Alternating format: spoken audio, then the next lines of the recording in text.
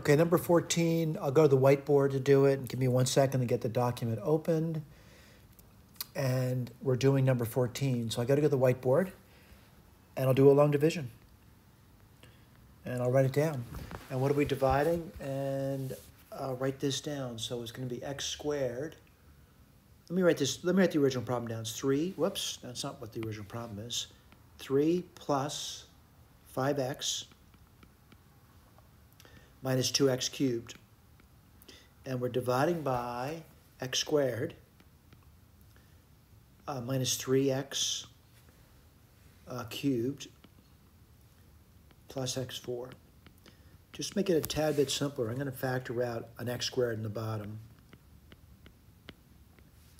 And then I'll do my long division. So it's going to be 3 plus 5x minus 2x cubed let's see, 1 minus 3x plus x squared. So I want to point out what we're doing. We're going to do long division on this, and then I'll multiply by this later. All right, let's put this down.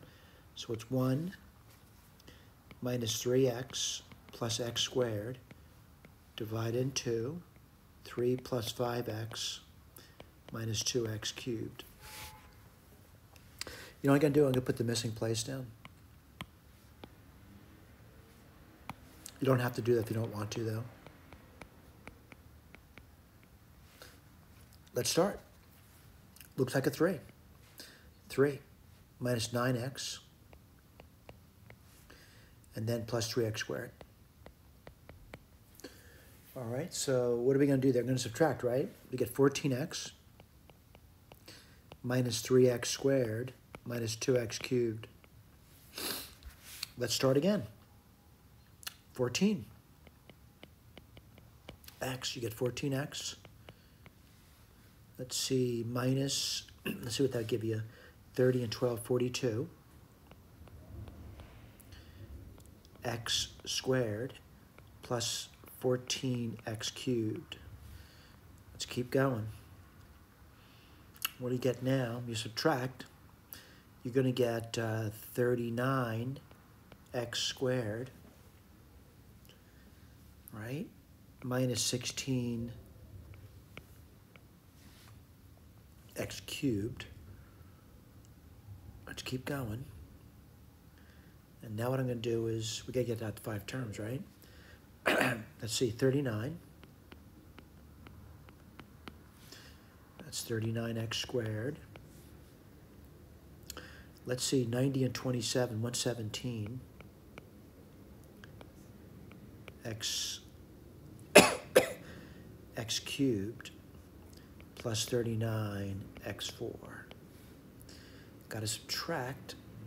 That's going to be, let's see, 101 x cubed minus 39 x4. Got to do another matching game, don't we? We're at the fourth term now. So 101 x cubed.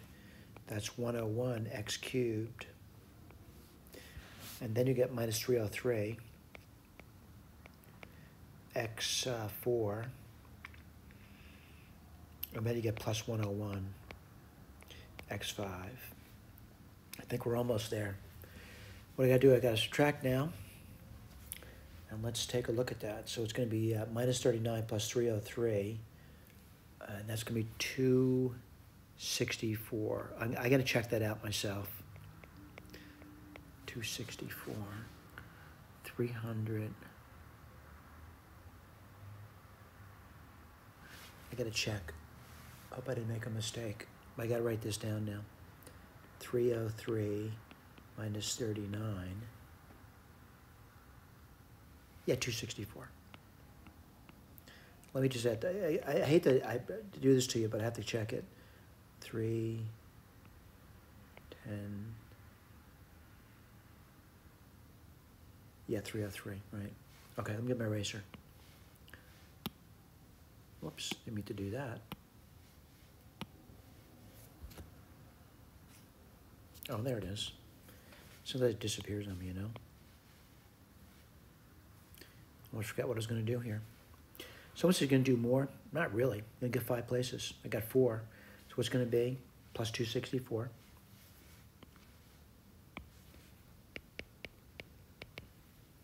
X4. Yada, yada, yada, yada. I'm not going to do the yada, yada, yada. So somebody says, are you done? No, we're not done. What we have to do is we have to multiply that by this. So it's going to be 1 over x squared times that thing we just found, which is 3 plus 14x. We'll check the key later, by the way. Plus 39x squared plus 101 x cubed plus 264 x4 plus yada, yada, yada. Well, I'm going to multiply it. Let me get my eraser because I need some things that are here that I don't need anymore. Need that space. And then we'll check the key. All right? So what do you get over here? Let's see, 3 over x squared plus 14 over x plus 39 plus 101x plus 264 x uh, x squared, right? Yeah, plus yada yada yada. Let's get our red pen out. I'm gonna look at the key. Gotta wake my computer up again, and I'll take a look. They wrote it with negative exponents, but that's fine. I see that. I see that. I see a 39, 101x, 264x squared. We're doing good. Thank you.